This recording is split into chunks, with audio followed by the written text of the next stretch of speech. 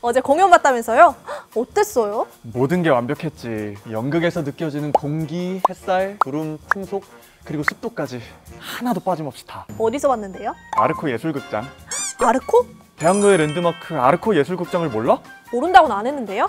그럼 알아? 음, 안다고도 안 했는데요? 선배가 알려주게요? 아르코 예술극장은 1981년에 개관했어. 우리나라 문예회관 1호지.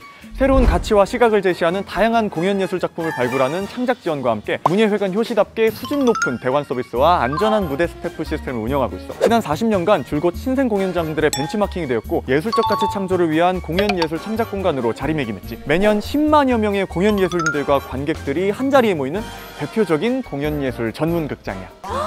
와, 아르코 예술극장 한마디로 공연 예술의 끝판왕이네요? 그럼 공연 예술 하는 사람이라면 아르코 예술극장은 꼭 알아야지. 저 뭐 하나만 더 물어봐도 돼요? 안 돼. 아, 선배. 지난번에 빌려간 돈이나 갚아요, 얼른. 계좌 부를게요. 예술은행 061-900-2100. 아, 그래 그래 우리 우리 귀여운 후배님 또 뭐가 궁금하실까? 대학로 예술극장 그거 뭐 하는 데예요? 그냥 대학로에 있는 극장 통칭인가? 음... 선배도 모르는 거죠?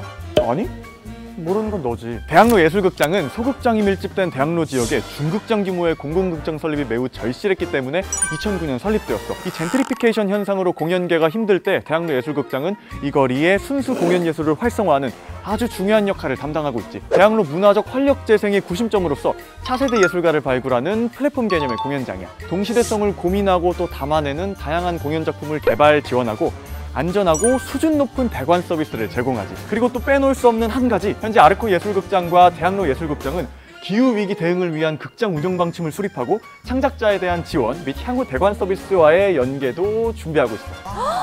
와, 선배 어떻게 이렇게 잘 알아요? 나 거기 취직했잖아. 진짜? 꽝이야 임마. 그래도 이건 너도 알지? 뭘요? 아르코 예술극장과 대학로 예술극장은 일상을 예술로 잇는 곳에서 한국문화예술위원회 운영합니다.